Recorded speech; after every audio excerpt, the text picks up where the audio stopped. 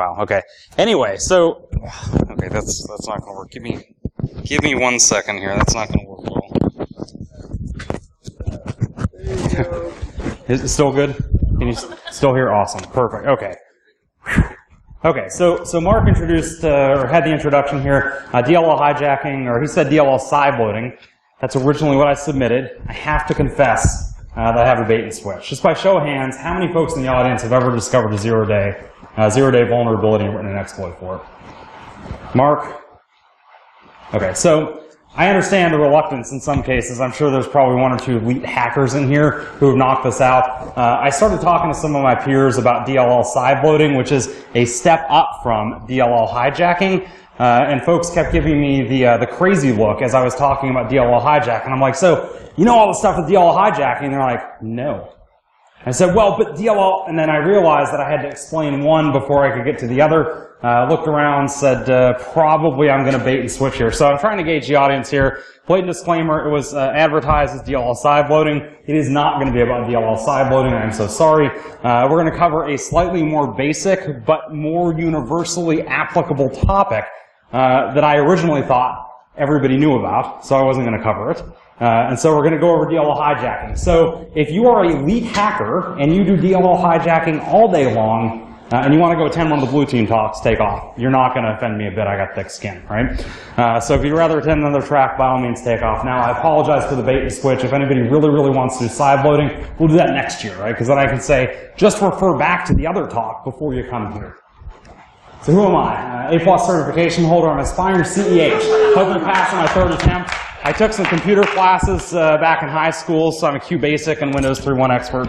And 11 years of experience as a sandwich artist gives me a unique perspective on dealing with made-to-order security solutions. Right? Okay, we all know that's BS, right? But I get tired of like those serious, you know, here's my whole CV in a uh, whole CV in a slide thing. Okay, so agenda. I'll talk about motivations. We'll talk about side loading. Talk a lot about DLL hijacking. I want to talk about auditing methods, a couple of findings, uh, as well as some practical defenses. So why do we bother? Turns out that uh, persistence, which Alyssa is talking a little bit about uh, next door in the following hour, uh, stealthy persistence techniques uh, oftentimes, uh, oftentimes will rely on injecting DLLs. Which antivirus is the best? The one that works. That's funny, the one that works, right? They all suck equally bad. I mean, there's a reality to this, right? No antivirus out, antivirus is effectively dead. Right? No antivirus is good, but I tell you that antiviruses suck especially bad, at not that they're good at anything, but they suck extra hard at detecting DLLs. They just do. They, they tend to look for executables. Uh, we've run a number of uh, number of intrusions. Uh, Brandon uh, here has helped me out with an intrusion uh, very recently uh, that involved an attacker using DLLs they were launching a DLL into a signed executable. Now, if you know anything about antivirus, you know that when you have a valid digital certificate, right, signed by a trusted certificate authority, and in this case, the malware, not even the malware, the loader process wasn't written by the attackers. They went out to CNET, they downloaded some, uh, uh, downloaded some executables, found one with a DLL hijacking vulnerability, identified that, loaded that on the machine, and set it in an auto start key. So what happens? Well, it turns out then at auto start, at startup or user logon, take your pick, uh, depending on how you persist. Turns out then that Windows loads the signed executable. And now if I were going to talk about a whitelisting company, I'm not because my lawyer says not to, but if I were and I were going to talk about Bit9, for instance, we would say then, possibly that then, in that hypothetical Bit9 example, Bit9 would fail to detect uh, that hypothetically, would fail to detect that malware loading uh, because, of course, it was a signed, whitelisted executable with a known hash, right? Now, of course, my lawyer advised me don't talk about any particular vendors like Trend Micro that missed this also, but if I were going to talk about any of those, that would be completely hypothetical. Okay, so I'm not picking on any vendors in particular here. Again, as I pointed out, they all suck equally bad. Uh, so now attackers can make your multi-million dollar security investment like Bit9, Trend Micro, Symantec, et cetera, look uh, hypothetically, uh, look uh, obsolete, right? So this DLL hijacking technique has been around for years. As it turns out, AV still sucks, and you get around executable whitelisting. Is anybody doing this? I think I already popped the uh, uh, popped the surprise on this. Uh, people are indeed doing this without any shadow of a doubt. Uh, again, I mentioned that uh, we're currently investigating an intrusion at a $13 billion a year company uh, that is, uh, these guys are printing money for goodness sakes. Uh, good, good security. Some good, okay, good security. Sort of okay security investments, right? Uh, they have a lot of the products. They did the right thing, right? They, they went out and they wrote the checks for the tools. That's what you do, right? You write the checks for the tools and wait for the alerts. Uh, again, we see this used uh, in most of our Chinese APT compromises. Now, if you've ever heard me speak before, you know my feelings on uh, using the APT keyword. All right, what happens every time a reporter says APT? Anybody knows this? No, God kills a kitten. That was close. An angel gets its wings is close, right? But look, the reality is, right, these, uh, these advanced persistent threats, uh, they're not going away. Uh, these Chinese folks wake up every day and they try to figure out how can we get into your network and stay there. Uh, as it turns out, then uh, we see this uh, technique used very, very often to bypass antivirus. As a pen tester, you want to be at least as good as the Chinese APT, and if you're not, pack up and go home. Right? The best way to emulate a nation state uh, of course, is to find attackers who hack like a nation state. And that's what we should all be doing as pen testers, right? If you're, if you're doing anything less, if you show up and all you do is run Metasploit, again, go home, right? Okay, so with that, let's get into the DLL hijacking. All right, so what makes this possible? Every DLL, every executable imports a number of DLLs. The DLLs themselves import other, not surprisingly, DLLs. They have an import address table, and unfortunately the import address table, per the Microsoft specification, does not specify the path of the DLL. It specifies the name of the DLL. Now, I would love to be a fly on the wall, Microsoft headquarters in Redmond, when they made the decision and said this is the way to go. At the time, believe it or not, this is not an omission, because very often we look back and we say, wow, right, like IPv4 address space, right? Who thought 4.2 billion IP addresses was going to be enough? And then you find the truth out, right? And you find out that in reality, uh, the original IPv4 scheme was just spelled out to be a, a, research project that got a little bit out of control that we now know to be the internet. Uh, it turns out they, they even said in the paper 4.2 billion addresses would never be enough, but it'll be suitable for the small scale research project, right? And then it took off, and we know the history there, right? Same thing here, uh, except in this case, it's not an oversight. In this case, Microsoft looked and they said, we want to only specify the name, we want you to be able to source the DLL from a number of different paths. This will help us address a huge number of compatibility concerns. Thank you, Microsoft. Bend over here anyway. So, okay, uh, hijacking essentially here is abusing these DLL search paths, right? Uh, we may get privilege escalation when we combine these with weak directory permissions. You want to use iCackles. If you're not familiar with iCackles, I can't say, I, I cannot see iCackles without thinking about cankles. Uh, but anyway, uh, use iCackles uh, to determine if you can write to the directory uh, of some type of system process or service. When we're doing pen testing for customers, every company bigger than a bread box has some of their own custom applications that have been devved for their own environment. Very frequently, we find these starting up as system services. Uh, I would say three quarters of the companies that we pen test have some type of internal alerting application, whatever it is. It's the, you know, if you're working at, uh, if you're working at Jiffy Lube, it's a Jiffy Lube Express alert notification system, and the, you name it, right? Everybody's got one. About half the time, we find these running as a system service, which means if you could hijack that application, you get system privileges. If you don't know, system is God mode. And about 25% of those applications, we find out that they're in a directory that a regular user can write to. And what does this mean? Now, you can't overwrite files because you look at the actual system service itself and you can't overwrite it. But you can add new files to the directory. Remember what I said earlier here, import address tables don't specify the full path of the DLL. And so if it's trying to load, if my application is trying to load a DLL, and I can somehow trick it into loading one of my DLLs, it will execute my code instead of the system code. This is a good thing for me if I'm an attacker. It's a bad thing for you uh, if you're a defender. Why is this a really bad thing for you? Well, because we've run, uh, my company Rendition, uh, we've run a number of cases now where uh, firms that will remain nameless uh, have come in that do these big wide scope uh, wide scope assessments where they deploy agents and they, they collect a bunch of data and they, they pull all the data back and they look at all the auto runs and, and try and find badness.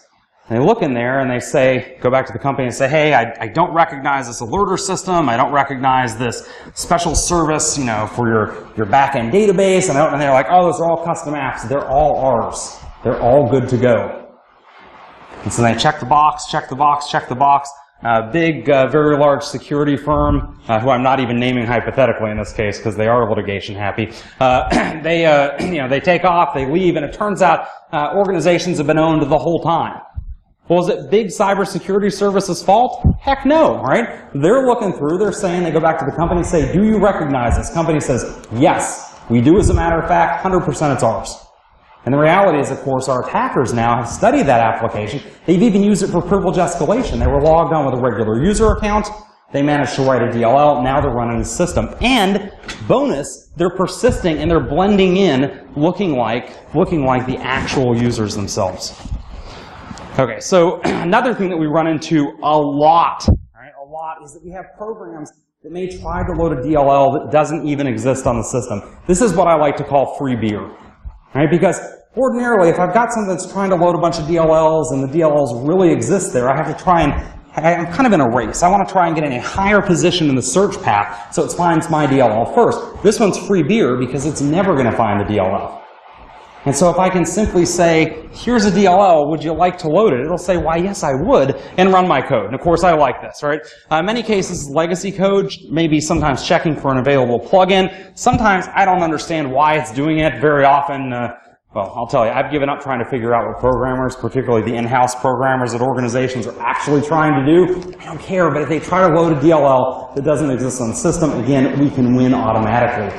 Uh, code takes another path if the DLL fails to load. Rob Lee uh, kind of coined this term ghost DLL injection. I haven't heard it uh, termed anything else. Uh, I haven't heard anyone else use that term either, but I figure that's as good as anything else, right? So it's essentially then a place where the application tries to load a DLL that does not otherwise exist on the system. We simply put a DLL with that particular name in one of the search directories, and automatically we win. Of course, if you supply that, the app blindly loads it for you. So what are the rules of Fight Club? Don't talk, no, wait. So uh, safe DLL search mode. This is on by default. Used to be that safe DLL search was not the default. Uh, around 2000, 2001, Microsoft fixed this for us. You think, you gotta be thinking at this point, come on man, it's 2015, why are you talking about something that Microsoft fixed in 2000 or 2001? That's because about 40% of the organizations that we've been to in the last year, I say we being my very unscientific sample set of my consulting company, about 40% of the organizations that we've been to, uh, been to in the last year have turned this off. Why? Because compatibility. Because we go turn it on and a bunch of their stuff breaks. Because some of their custom coded apps depend on safe DLL search being turned off. And when you turn it off, it's a global thing. It's on the system, whole system. You're not turning it off for one thing, you're turning it off for the whole system. So safe DLL search on by default, it moves the current directory. We're going to talk about the search order here, the current directory to the end of the search order.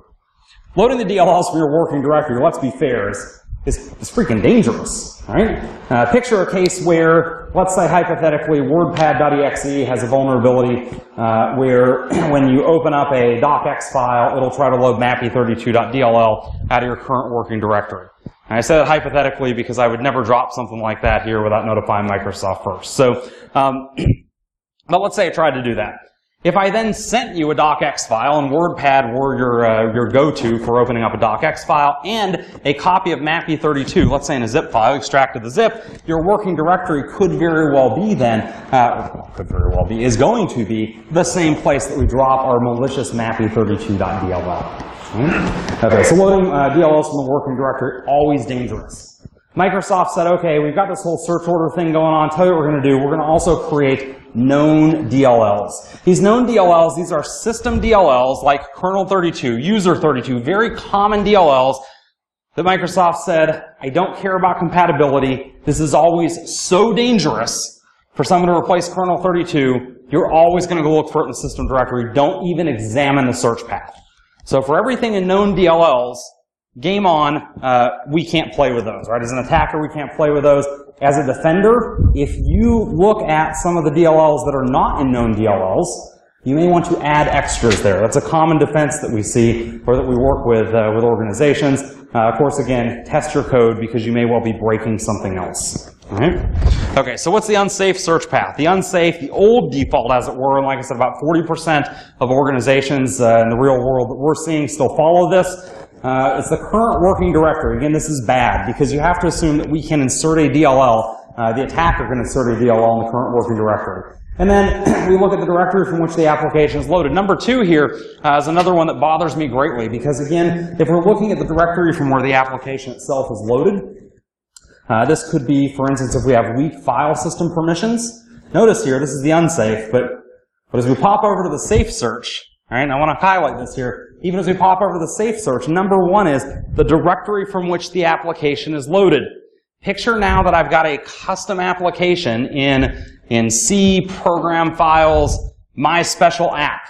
Right? And my special app.exe uh, is vulnerable to this DLL hijacking, meaning that it loads a DLL. And I say vulnerable to DLL hijacking, what I really mean there is loads a DLL not explicitly listed in known DLLs. It's a pretty small list. On Windows 8, that's about 20 DLLs. If you look in Windows System 32, you'll know there are far more than 20 DLLs. Right? Your odds here are not good. As a defender, your odds as an attacker are phenomenal. Right? So again, if you have weak file system permissions, we can find those with iCackles. We may be able to write a DLL again into that, and this is with safe search. Right? Remember, this is the safe one. The unsafe one actually includes the current directory. The other one I want you to look at here is number six. Number six doesn't change either. And that's everything that's listed in the path variable. All right, so everything listed in the path variable. This is another thing. As a pen tester, when you first get on a machine, right, maybe you're trying to elevate permissions, you're not a regular, uh, sorry, regular user trying to elevate the system on that machine, one of the first things to check is path. And see, can you write additional files into the path directory? Now look, that's always bad anyway.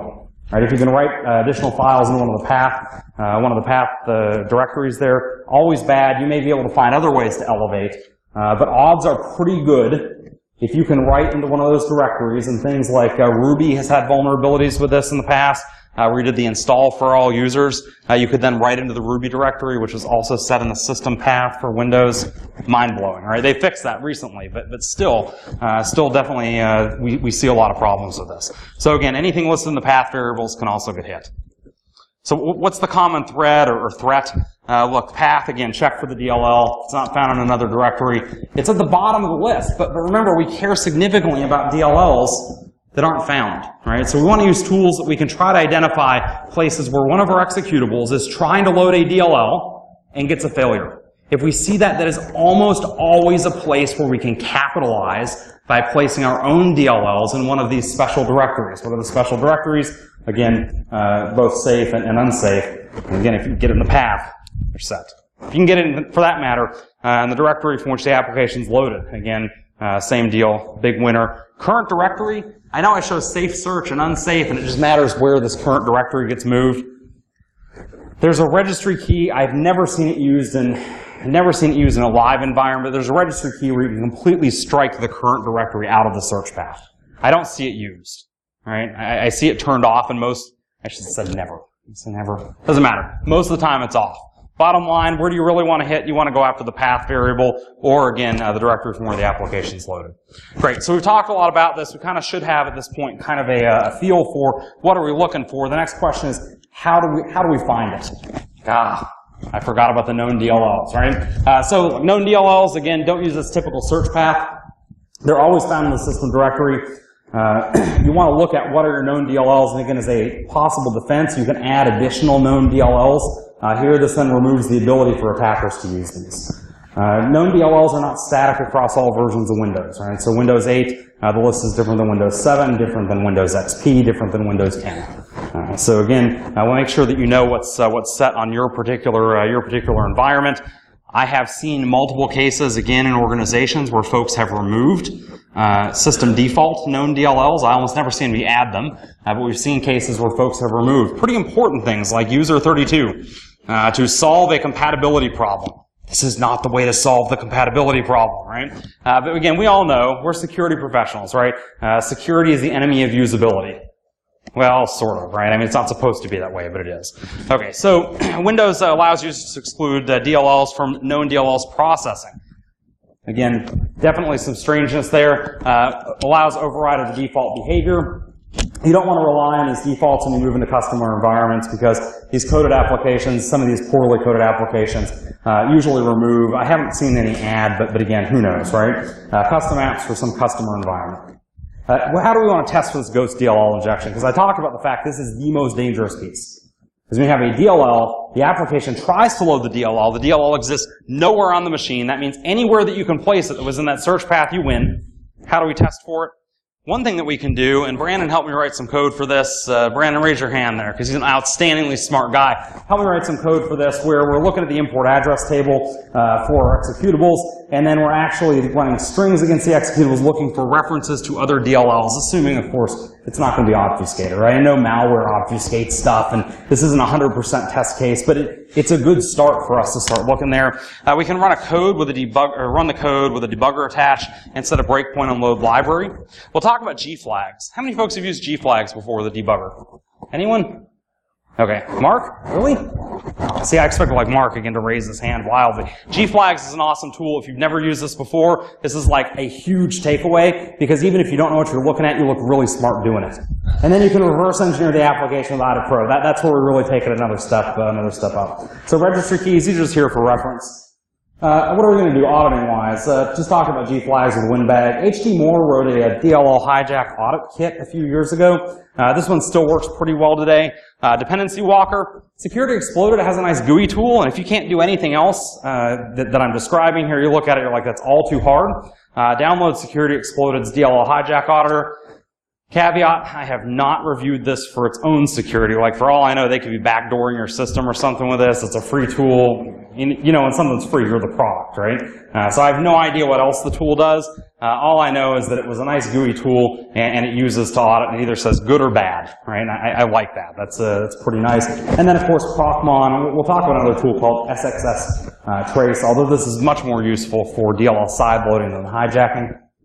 So G-Flags. G-Flags is a tool for free included with the Windows debugging tools. Great for finding memory errors. We use this all the time in exploit development for finding use after free, uh, use after free conditions or double fetch conditions. Uh, is again excellent tool, but in our case, we're very interested in the SLS flag, the show loader snaps. Because as it turns out, the loader is, well, as the name implies, what loads DLLs. And we want to see the snapshots of exactly what the loader is doing. If you've ever been curious about what the loader is doing and, and, and how it's trying to resolve DLL names and all the DLLs it tried to find to load and didn't, uh, Show Loader Snaps has all that information. I'll tell you all that and more. Uh, so again, it shows us which directory they're loaded from, any side-by-side redirection. Side-by-side -side is a compatibility uh, piece for Windows uh, that allows you to have multiple versions of the same DLL uh, on a given system. And side-by-side -side will help you figure out which one of those to load. This is often used by malware as well. Uh, it also shows functions explicitly imported. So, so again, lots and lots of data for free. So how do you find craziness of G flags? One, don't do this on a production system.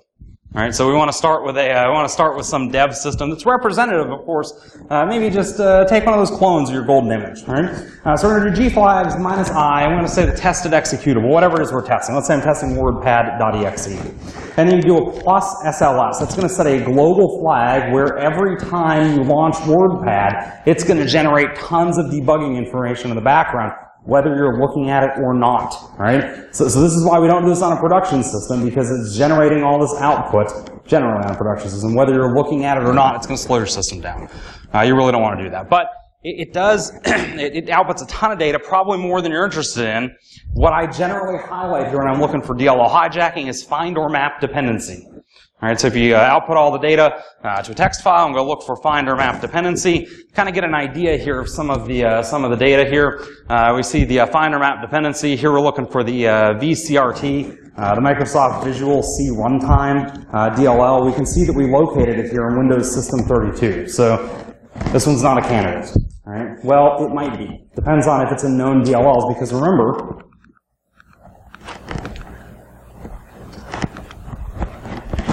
even with my unsafe and my safe, notice that if I've got an MSV CRT from which the application, the directory from which the application is loaded, if WordPad, let's say, is in program files, program files, uh, Windows NT accessories, hypothetically speaking, of course.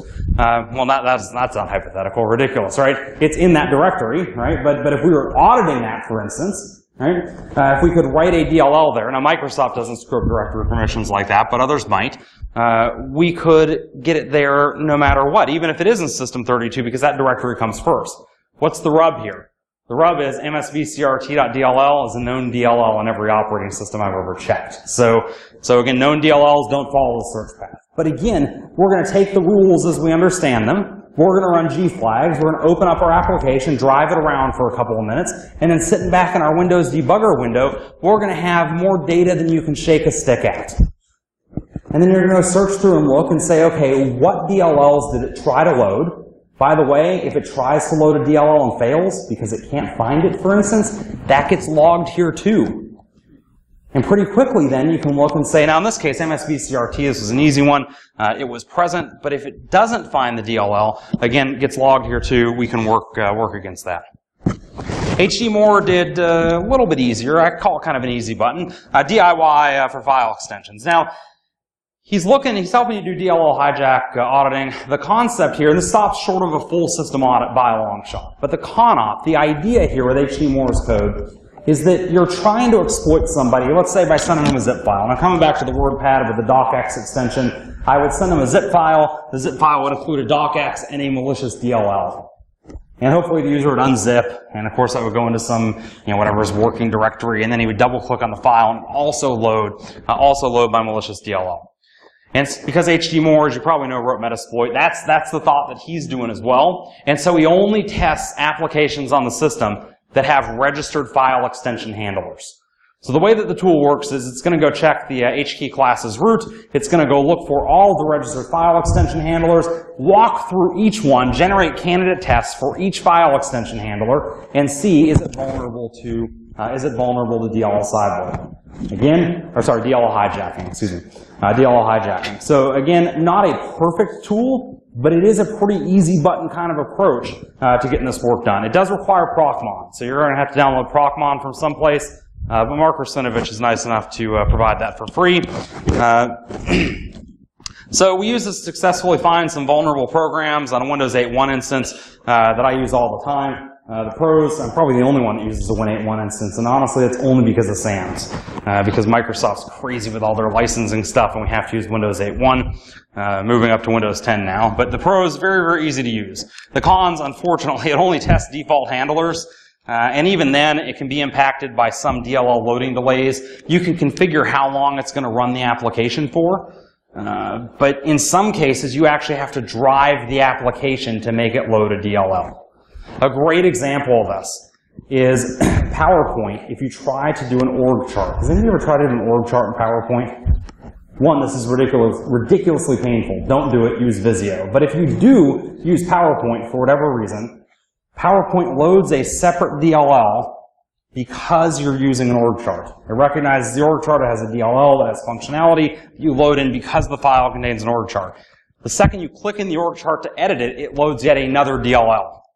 Now let's say, for instance, and, and, this isn't even a hypothetical, it's not vulnerable in this case to the side loading attack, but let's say, for instance, that it was, right, or excuse me, the hijacking attack, uh, let's say that it was, we would, HD Moore's file extensions would miss this. One, because it's only going to generate a fake PowerPoint file and hope that it, uh, you know, basically launch PowerPoint, right? It's going to generate a file with that extension, launch it, hope that, uh, basically look for uh, whatever DLLs are going to get loaded. Because we're not driving the application here, because the script is automatically firing stuff off, we're not actually going to see any results here, even though the application is vulnerable. You guys following me here? Essentially because we're not driving the app, we're not doing all the things the app would ordinarily do under user behavior, right? Or uh, with user behavior. Uh, again, we're not going to see it. I like the fact that it's really, really easy to use. My mom could use this tool. Uh, she probably couldn't interpret the results, but she could use it, and that's, that's enough, right? Uh, so, so that works well. Uh, this is on my Windows 8.1. I, I blocked off, I, I mean, yeah. Uh, this is an image that we've been working with, or that I've been working with for a while. Uh, you can see the one that concerns me a lot is this MSI extension. Uh, he found uh, the MSI extension to also be uh, also be vulnerable. I, I, found that to be quite quite concerning to say the least. Right? turns out that it's not Windows screwing this up. It's actually a third-party tool called HackShield that, ironically, uh, then screws up the MSI file. Anyway, neither here nor there, right? Uh, how cool is that that our security products actually are then screwing up? Yeah. So again, I blank that out to uh, blank that out to preserve the uh, I guess that's not the innocent in this case, but, but you get the idea. So this is Procmon. Uh, if you're not familiar with Procmon, we'll take a look at, uh, or talk a little bit more about this uh, as we go through. It's a great, great, great tool. Uh, Procmon ordinarily will generate, with you doing nothing on Windows, uh, tens of thousands of events per minute, right? If not hundreds of thousands of events per minute. You need the right filters in place. Uh, HD Moore's tool puts all of the right filters in place for you. Uh, that makes it exceptionally easy to use. One thing that I want to point out here is the DLL referenced uh, isn't always uh, isn't always loaded. All right, so uh, WordPad.exe looks really really bad when we started doing the audits here, and we saw indeed. As a matter of fact, I'll go ahead and this one's an easy one here. Uh, this is WordPad up here at the top although I've got it blanked out, and you can see it's trying to load mappy32.dll. Uh, if you know anything about mappy32.dll, it's a legitimate Windows system DLL. It should be in system 32. Uh, unfortunately here, of course, my system is trying to load it from my working directory. No one likes that, right? So did a little bit more study on this particular one, and it turns out that in this particular case, even though it's trying to reference the DLL, it doesn't actually load it. It doesn't actually load it from there. There are a couple of checks inside WordPad because Microsoft looked and said, this would look really bad if some guy came in and found one this easy. And so they put a couple of checks in there uh, that prevent it from loading in that scenario, right? Uh, your in-house developers did no such thing. Right, I promise you, your in-house developers did no such thing. Uh, requires a little bit more investigation with a debugger to see if it's exploitable in any circumstances. Uh, hint, it is. Um, anyway, so Dependency Walker. Right, let's talk about other tools here. Dependency Walker is another easy-to-use tool. Very, very easy to use tool. Uh, one of the things I want to highlight here, a lot of times folks look at Dependency Walker and they say, good to go. This is a, a, you know quick analysis tool, and I've got this thing that looks a little weird over here. I think it probably isn't malware, but I'll just drop it in Dependency Walker and see what happens.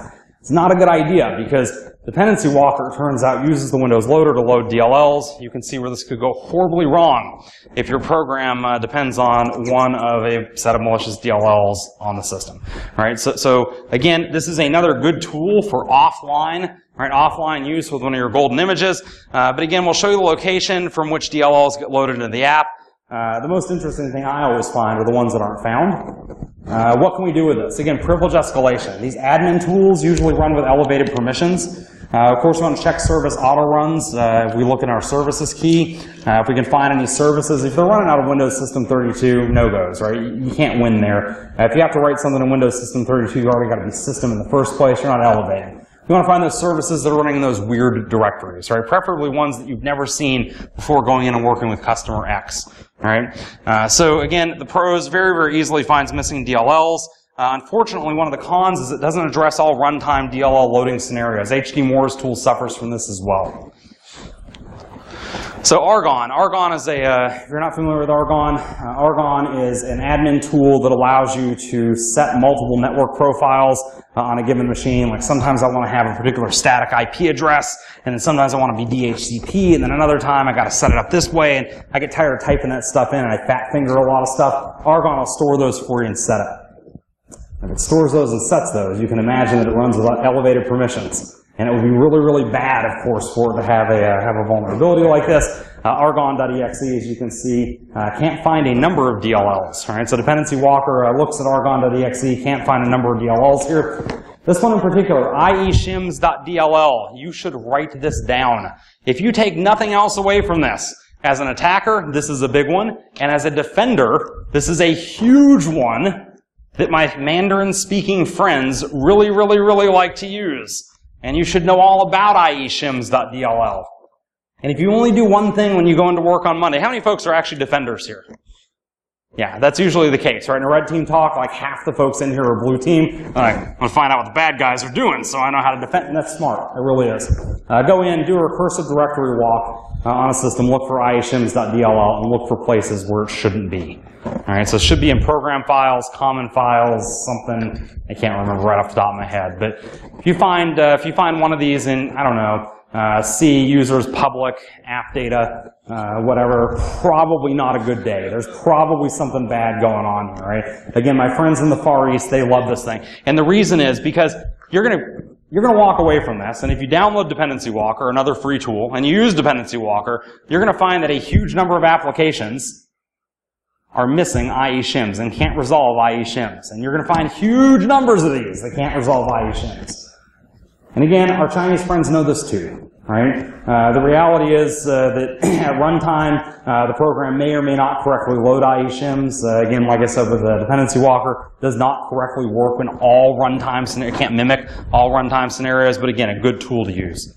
So the DLL hijack auditor, security exploded, again, great way. This is the easy button, the Staples easy button. Actually, knock that Staples. It's not Staples. That's uh, I'll get sued there. But the easy button, uh, regardless, DLL hijack auditor, very very uh, easy to use. Uh, you just download uh, download the uh, DLL hijack auditor, plug your application in, let it go. Uh, we can see here the vuln test is finished, and no vulnerable DLLs were found for WordPad.exe. Now, is that really true?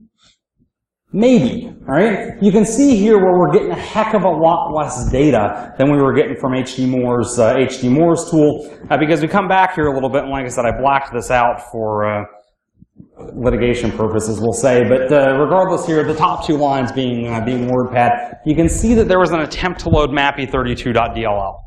I like the extra output here a heck of a lot more than I like, because I've still got some hope here. I've still got, I know I need to dig deeper. Because there are 150 some odd file extensions on this particular Win81 machine, and only a few of them flagged. That's not a snippet, that's the whole screenshot. Alright? So only a few of them flagged. I'm going to dig a little bit deeper here. But when I run, when I run the, uh, I run the DLL hijack auditor, you can see here, I get no indication that I should dig deeper here. And so while I like this as an easy tool, and I certainly have had it pop, uh, uh, pop and say, hey, there's definitely a vulnerability here, uh, there have been other times when I know there's a vulnerability there and this thing fails to detect it. Right? So it's not the top tool in my chest, but it is by far the easiest to use. Right? My mom, again, can use this tool with no problem, and she's a technotard. Okay, so uh, we can go native with Procmon. Right? I'm not even going to try and pronounce that guy's name. Actually, that could be a girl for all I know. I don't know. He has a great article uh, on auditing for ghost DLLs using Procmon. Uh, it's really interesting. I didn't even know about this prior to uh, prior to starting uh, this talk. Uh, but I was looking for references, this kind of stuff I've been doing for years, and it turns out this guy uh, published an article, I think guy, published an article last year on using Procmon to do exactly the same thing, looking for those missing DLLs. Basically, we want to look for the operation of create file uh, with a result of name not found. If you're not familiar with the Windows API, uh, Microsoft kind of plays a little trick here. Create file really means create or open. So create if it doesn't exist, open if it does. And we want to look for name not found. Why? Because, well, when we talk about the search path, how are they doing that? They're going into each directory and they're calling create file. And so we want to look for those places where it says name not found, and then we'll filter down and look for file names uh, with uh, with the names of DLL. Load image operation again is also useful to filter for uh, filter for these missing DLLs. One final tool I want to talk about here, SS, SXS Trace. Uh, if you don't want all the detailed information for a debugger, man, and I understand because debuggers are, are, hard to use, and again, they will make you look geeky and awesome though.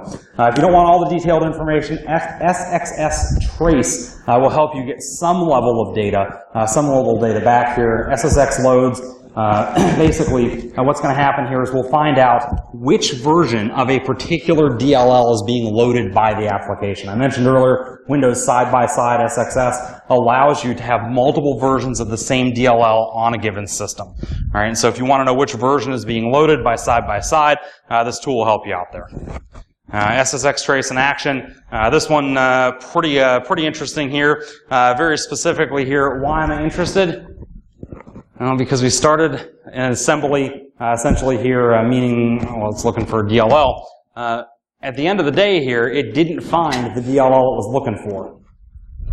Winner, winner, chicken dinner, right? Because again, if we can put that someplace where it's going to be found, again, this is a great trace tool already available, uh, built in for you by Microsoft.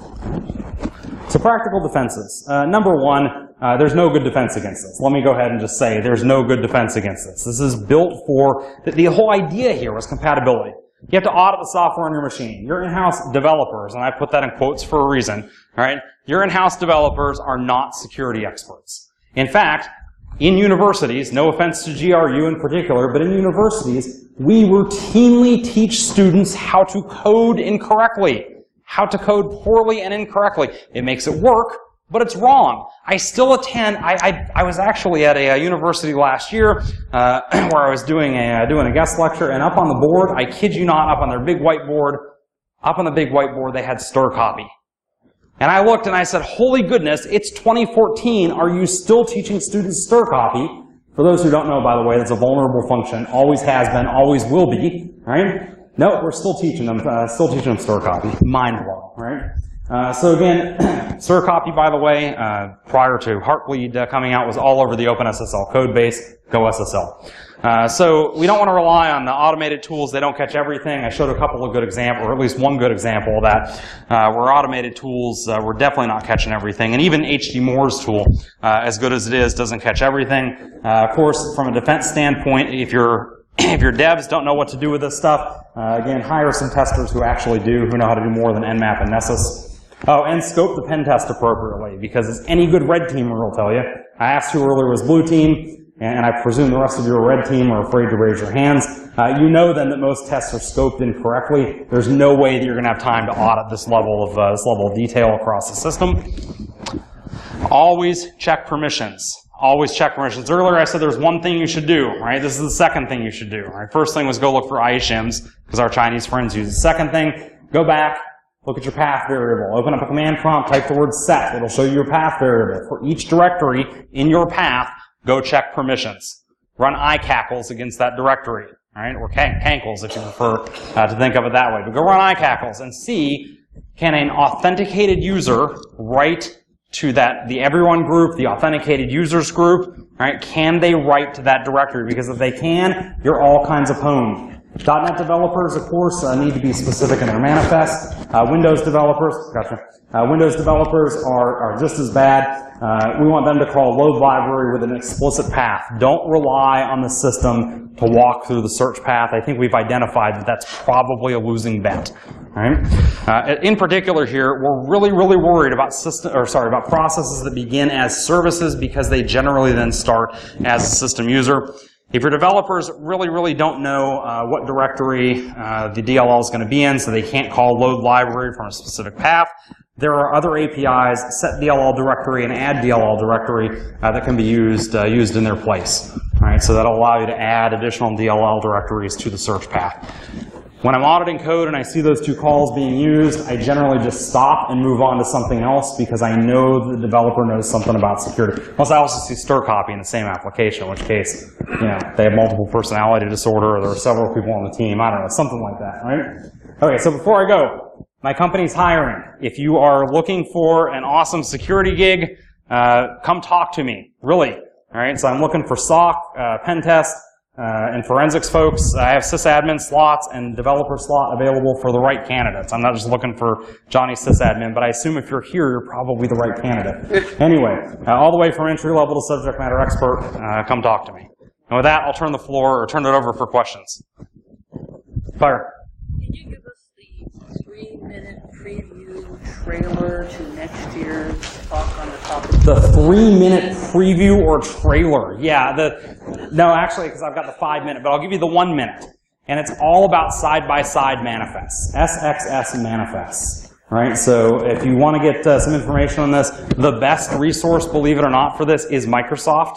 Uh, WinSXS, go Google WinSS, WinSXS, try saying that five times fast, uh, and MSDN, uh, go out there and they have uh, they have a good set of documentation on how to work through uh, for your developers how to specify your your DLLs in the manifest. Essentially, the problem here uh, is that developers will say something like, uh, "I would like the Windows Common Control DLL uh, version six or higher." Right? And so there's let's say Common Controls DLL version 10. Well, it turns out then in that particular case, the first one, six or higher, is used. And so I could then go back as an attacker and I could insert version 9. And whereas you thought you were loading the old, now this is not a privilege escalation. In 99% of cases, uh, DLL side loading is not used for privilege escalation. But it is used for some really awesome stealthy persistence because our antiviruses, they're, they are just really, really bad really, really bad at detecting that. And it's much, much more difficult for us to detect as blue team members as well. So that's, that's a quick preview. Any other questions? Have you seen any, uh, Have I seen rootkits in Windows 8 or Windows 10? Uh, mildly off topic, but the answer is yes for Windows 8, no for Windows 10. Uh, two things uh, with that very, very quickly. I know I'm running real short on time, uh, but part of the problem when it comes to rootkits, I'm going to assume what you really mean there is uh, kernel mode rootkits uh, that do things like kernel object manipulation. You have a couple of intricacies here. One is Windows Patch Guard, which is a giant pain in the rear. Uh, when Windows Patch Guard detects that you've changed something that it's actually guarding, uh, it causes a blue screen of death. That's bad for you as the rootkit developer. The second one is driver signing. Uh, it's very, very difficult, as we all know, to get a, uh driver uh, signing certificate. It's not difficult. It costs $200. Uh, they want to verify they have a website and a phone number, which is a very, very high bar. Uh, in some cases, for an extended validation certificate, like we see in Windows 10, uh, you need an address as well. Nobody will visit the address. So you will need an address, though, that actually corresponds with the phone number and website that you put together. Uh, it is not difficult to get a, uh code signer certificate. So, uh, but if you don't want to go to that trouble, you simply look for a uh, look for a device driver uh, like Fortinet uh, that was released uh, two weeks ago that has an arbitrary write what where condition. Uh, in that case, you simply use that write what where to flip the one require signed drivers to zero don't require signed drivers in the kernel, and then you load drivers at will. All right. Uh, turns out that that one is a signed driver. Right. So even if you didn't have Fortinet on your system, you just take it with you. Right. Uh, VirtualBox has had a number of these. There are a whole set of uh, vulnerable device drivers. You take one with you, you install it as a service, you load it, and then you exploit the driver that you brought with you to turn off kernel mode code signing for the win. Okay, I think I'm out of time for questions. Mark, I appreciate the time, by the way, all your time. I know how valuable, how valuable it is.